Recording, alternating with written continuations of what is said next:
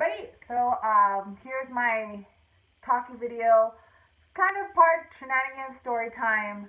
We'll just label this uh, karaoke etiquette and beyond. Uh, there's something that I feel very knowledgeable about. um, one of my retarded hobbies is karaoke. If you have seen my Smule video, which I have somewhere in my channel, it's me with some random dude, which I did get his permission we were singing uh, Dance Magic Dance from The Labyrinth.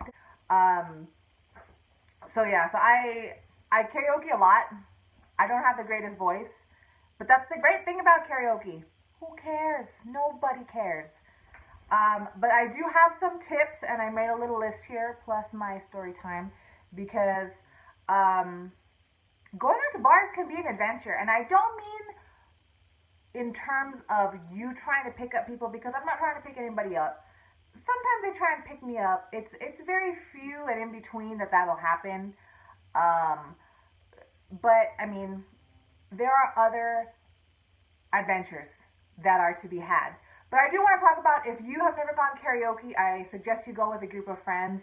Um, I used to go, if I couldn't go with anybody, I would go by myself because I'm such a nerd for it. I mean, I don't I mean, I got my phone and Facebook. I have thousands of people at my, you know, reach to talk with if I get bored at the bar, but I don't do that anymore because weird things happen when you're alone. Um, so yes, no, we'll call this karaoke charm school and adventures. That's what we'll call this.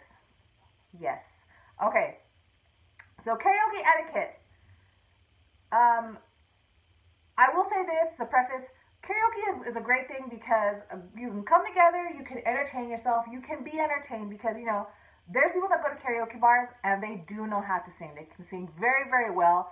So with just like a dollar fifty drink of some kind, um, where I live, that is very common, dollar fifty, two dollar beer. It's cheap, fifteen dollars a night. I'm good, okay? Um, so the thing with that, you know, you can be entertained. You can. It just doesn't matter Everyone's super cool. I enjoy going to old people biker bars because nobody cares. No one's judgmental.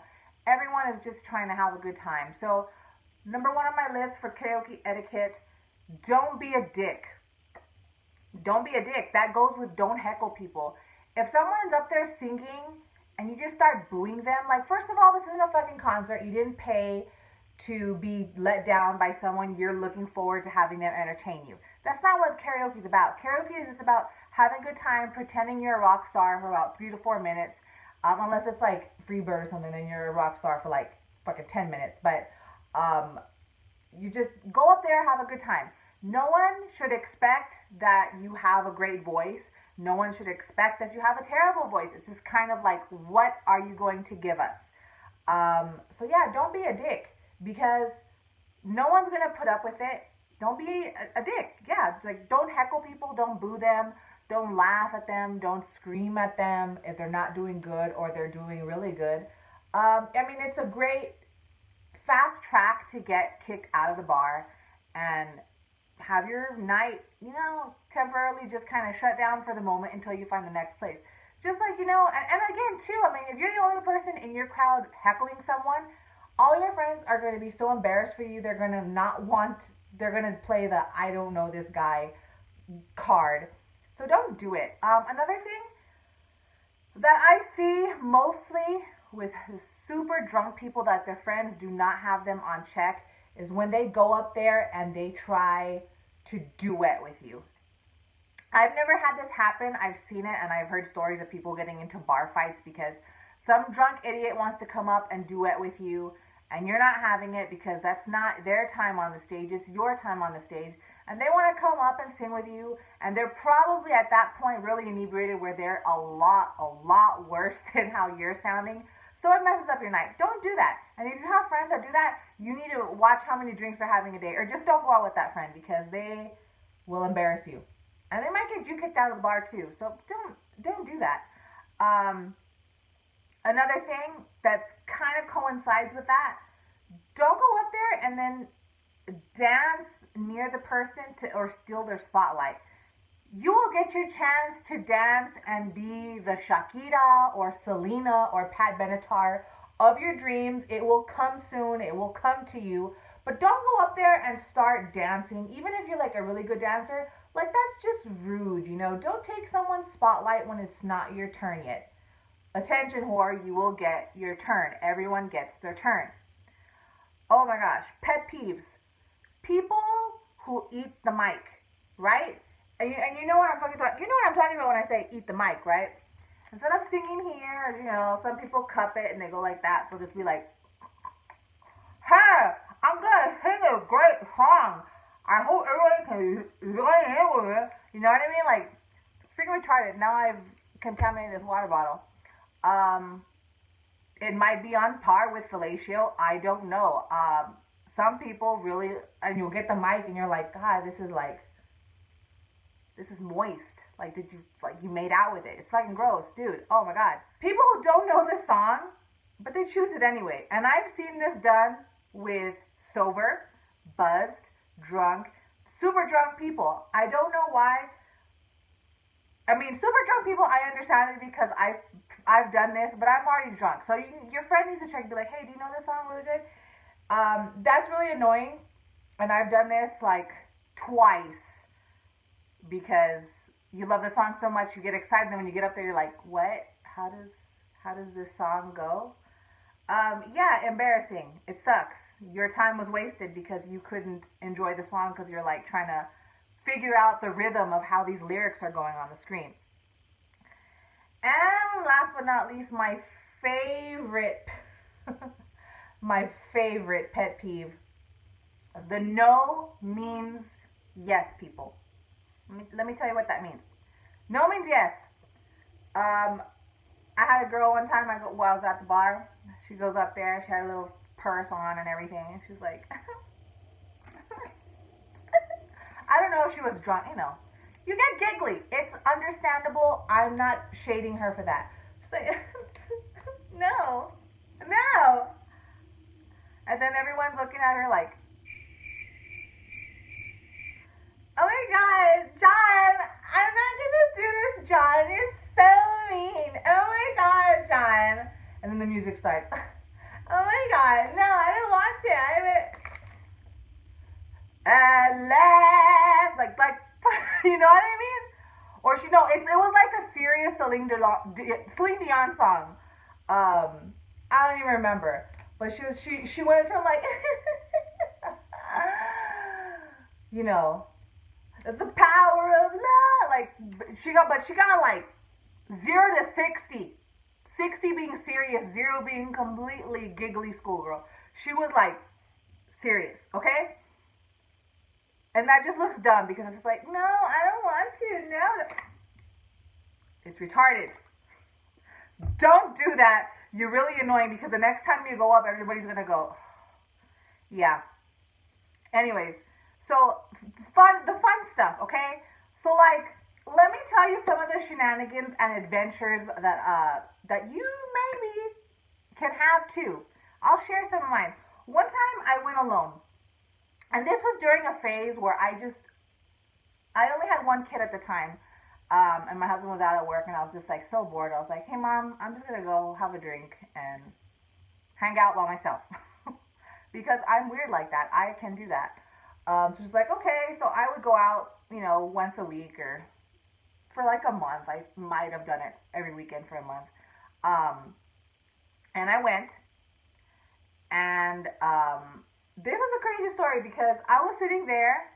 I think this was the same night I got hit on by a really old lesbian. Not like shading the LGBTQ community because of that, but just like not because she's a lesbian, just because it's like really weird when older, much older people hit on you.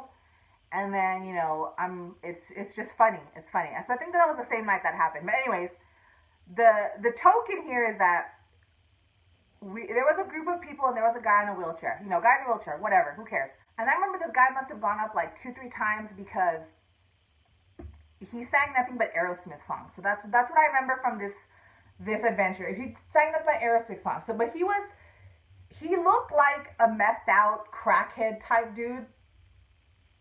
I'm sorry, just that's what he looked like.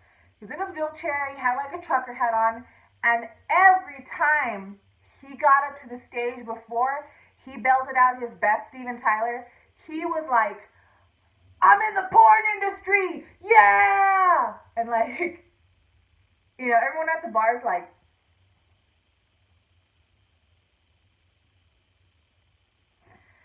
of course, I looked up, like, what? this little skinny dude on a wheelchair, he was like, I'm in the porn industry. Every time he got up. I don't know. I don't know what he did in the porn industry. I mean, I'm sure what he did, but I don't know what he did. I didn't bother to look it up. Um, never seen him before, so probably like some low budget home video stuff. but um, anyways, that was a trip because that's like totally unexpected, right? Um, Another adventure that I had one time is I was with my two girlfriends and we were out at the karaoke bar just by ourselves. No one bothered us like the whole night, which is great, you know, because we each had a boyfriend or I, where I was married. You know, I'm married, but they each had a boyfriend at the time. Um, so this really, really drunk dude that I can only describe as the spitting image of the white guy from the Offspring video, Pretty Fly for a White Guy. I'm just gonna say his twin from that era, dressed in those clothes, came over to our booth and sat down next to my friend. Uh, I think it was was it me or my friend Dolores? I don't remember. It it was on our side because I remember this other girl Irene was sitting across from us, so she was just like. Well, anyways, pretty fly for a white guy over here had like you know the fattest beer goggles on, which I did tell him he needs to take those beer goggles off because we, he was at the wrong table. He was just like, "Hey, you girls want to make out? And I was like, no, I'm, I'm good. Um, thank you though. You want to take off those beer goggles? They're a little too thick right now, but I'm gonna sh- shoot you down, and I'm gonna say no, thank you, but thank you, and you can leave now. So he sat there for a moment. You know, that's that's always fun, right? Um, another thing that happened to me once that I I thought that was so hilarious was that it was a long time ago. I was with my my male friend. It was just me and him, just shooting the shit or whatever, having a couple drinks.